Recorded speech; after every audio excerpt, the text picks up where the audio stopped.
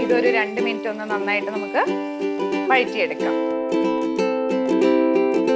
ആഹാ നല്ല കാണാനൊക്കെ നല്ല ഭംഗിയായിട്ടുണ്ട്. നമ്മുടെ ചിക്കൻ പൊടിമാസ് തയ്യാറായിട്ടുണ്ട്.